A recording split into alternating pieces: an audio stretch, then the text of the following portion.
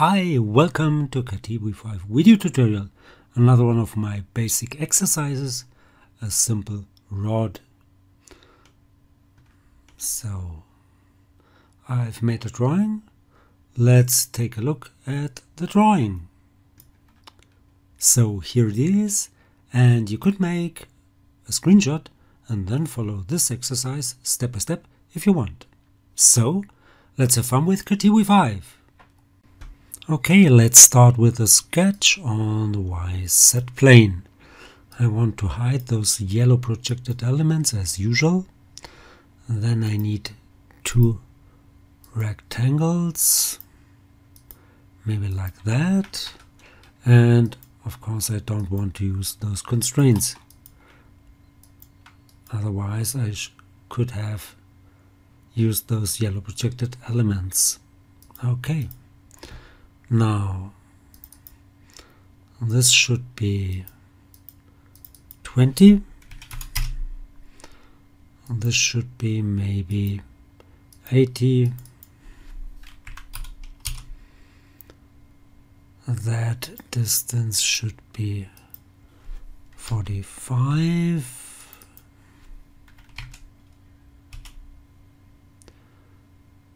and this distance should be 17.5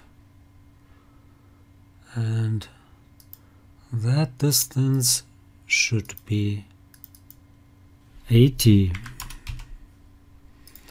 now let's make it symmetric to the y-axis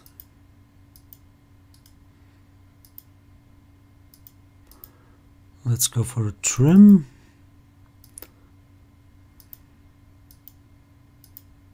And I want to add a point.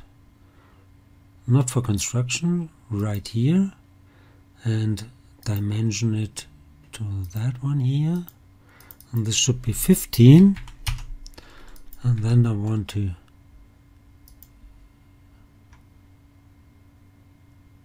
make this an output feature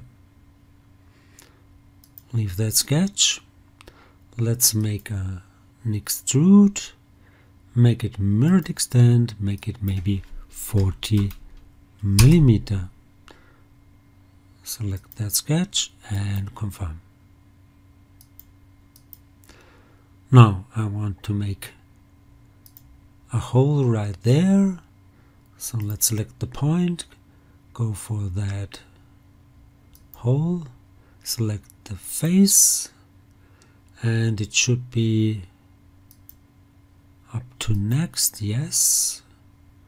And I want it to be countable no not countable it's a simple one.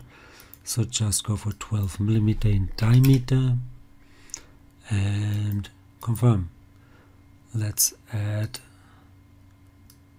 a fillet 50 millimeter up here and down there confirm. Great. Now I want to make two copies of this body here. So let's go and copy it paste it special once as result with link. And again as result with link okay let's hide the part body. And I want to rotate this one twice. So let's go for a transformation. That would be this one here I know.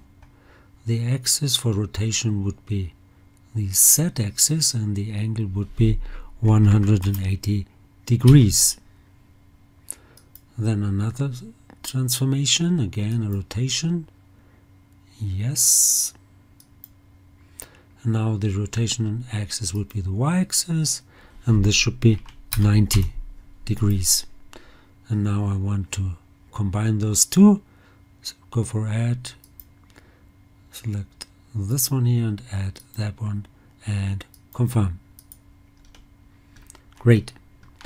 Now I need a sketch on the XZ plane. Okay, next I need a sketch on the XZ plane. So I want to go for position sketch on that plane and let's swap those two axes. Okay, hide those yellow projected elements and I need a polygon, a hexagon. So let's go over here and maybe like that. And I don't want to use that constraint. So this point should be on that axis here. Of course coincident. And the distance between this one and that axis should be 25 and that point should be coincident on this axis as well. Let's take a look. Yeah, I want to put a point again on this one here and I want to make it an output feature. Did it work? Let's take a look. Yes. And leave that sketch. Now let's make a pocket with that sketch here with this one.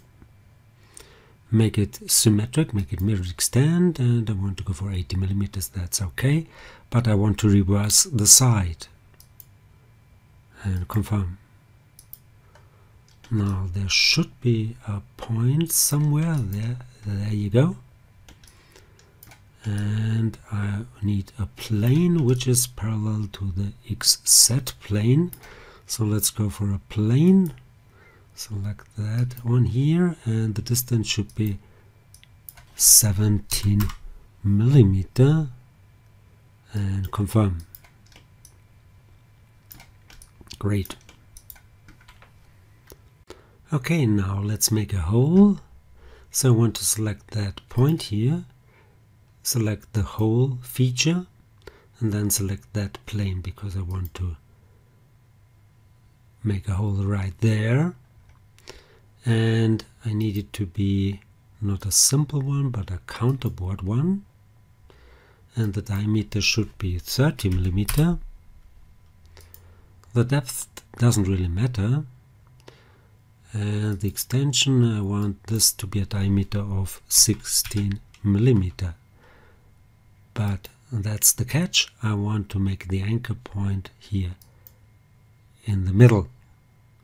And the type could be, the extension could be up to next here or up to a plane. And let's go for this plane here.